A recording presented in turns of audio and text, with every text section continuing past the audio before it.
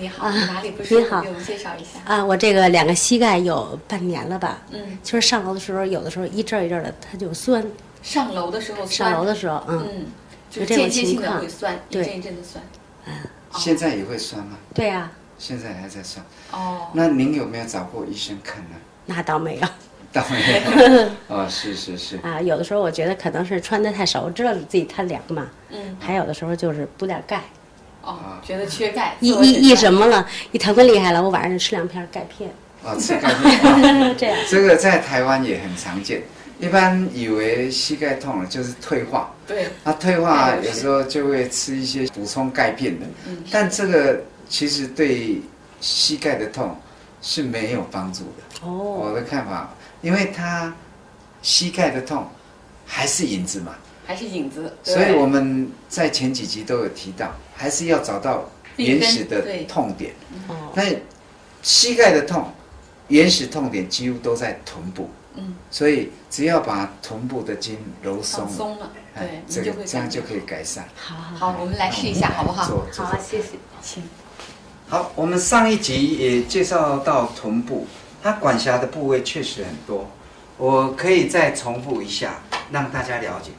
臀部好、这一带，它的哦骨盘哦屁股的骨头，它是呈现 V 字形的，所以揉法一定是要斜斜的揉过来。那这一段管理哪里呢？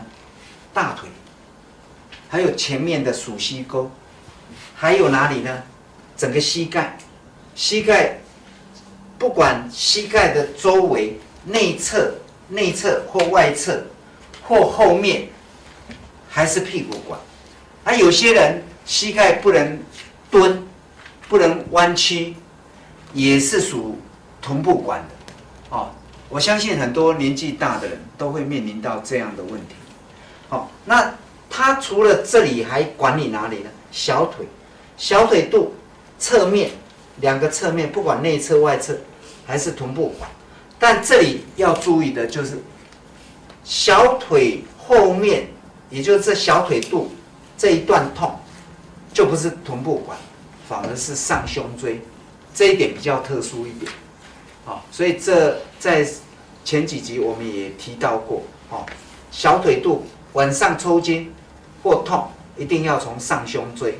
啊，等一下我也可以。教大家怎么来处理这个小腿肚抽筋。那还有一个问题就是，这个足跟痛这一段，也就是足底上来这一段到这一段，这一段大部分是学生打篮球、打球跳下来最容易伤的一段。哦，这一段也是从臀部解决。好，还有到哪里呢？臀部还管到哪里？管到这个脚踝，这个脚踝扭伤，一般我以前诊所常常看到，那脚踝扭伤，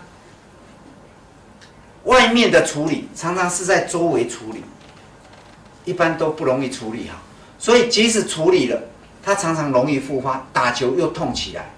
如果要让这个脚踝根治，还是要从臀部把痛点找出来，揉开了。这个脚踝才会好。那脚踝扭伤，我们还要注意的就是怎么样呢？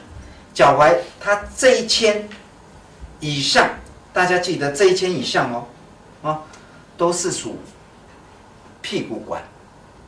那脚踝这一圈以下的扭伤，比如它这样一转，它是痛在这个足背上，那这里就不干屁股的关系了。也就是在这一圈以上才是属于，这一圈以下，屁股就管不到了。哦，所以在原始点已经很明确把它界定了。那如果万一他的痛点刚好就在这一圈上面呢？也有人痛这一点啊，中间这一点，或是旁边这一线，哦，任何一个点痛，一样属屁股管。但是有些人，你问他，你脚踝扭伤，你痛哪一点，他也讲不清楚啊。他觉得就好像里面有一点痛，但不知道痛哪里。如果遇到这样的患者，你就不用考虑这个开关，你直接还是找最远处的开关，因为我常常比喻就是说，当地人对当地的事一定是最清楚的。那当地人既然不了解当地，那可见这个绝对不是当地人，是假冒，一定是远方来的，所以就找最远的开关。哦，所以他如果讲不清楚的，我们就找远处开关。好，所以等于整个屁股从属膝沟、大腿、膝盖一路痛，痛到这里脚踝，都可以处理。那现在他的问题呢？他是属膝盖痛，两边的膝盖痛。那我们直接就从屁股来处理。那屁股它的手法有特定，也就是你要处理这一脚，那就是揉这一边。那这一边你不能在同侧揉，因为同侧，假设我要揉这一边，我同侧揉，这里肩膀容易受伤，所以我们原则上是在对侧揉。好，那我揉给大家看。我刚刚有介绍，它都在骨旁嘛，所以它是呈 V 字形，所以我们把它第一个点找出来之后，我们的手靠过去，那就可以开始做了。这里痛吗？疼啊！很疼哈。对。这里是不是也疼？哦。这里是不是也疼？是。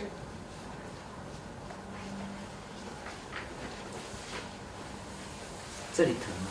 疼。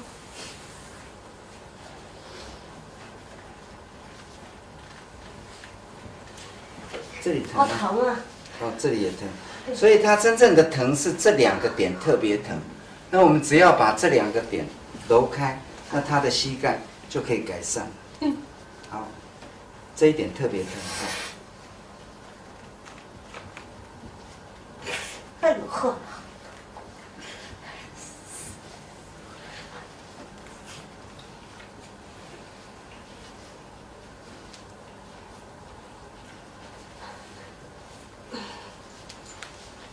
好，这样我们揉完了之后，再帮他舒缓。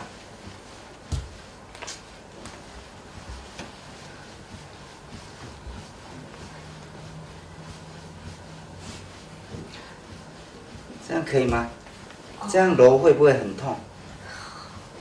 可以。这样揉还可以，好。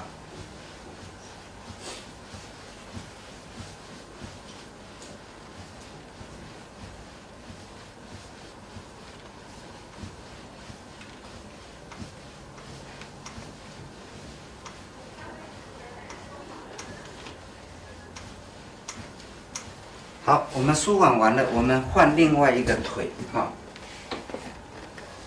这边是不是也疼？是。好。这里疼吗？疼。也是疼。对。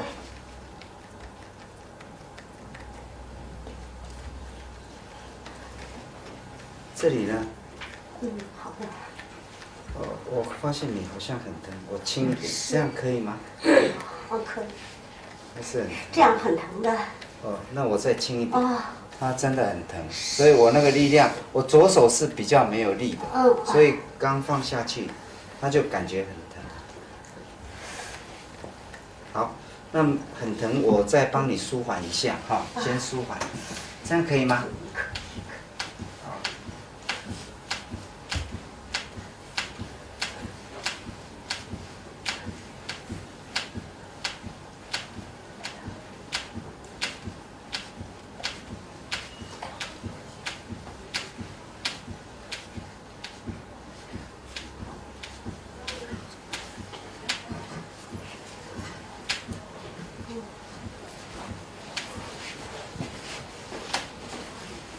轻轻帮你揉酸哈，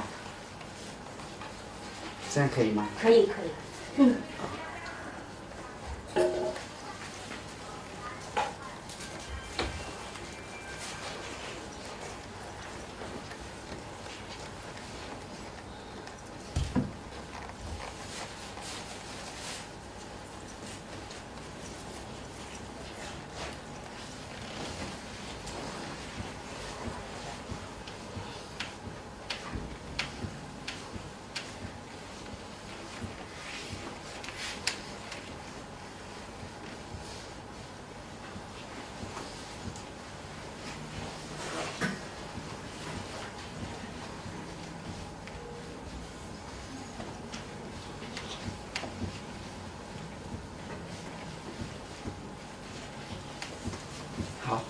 现在感觉怎么样？膝盖走一走，那种感觉感觉，走一走。我我看一下没事儿，特别轻松。刚才刘姐还说了，这腿还是我的我？不知道了。这有个感觉，真的非常非常轻松，就是特这个效果挺不可思议的。是吧哦，现在感觉非常轻松。是是。哦。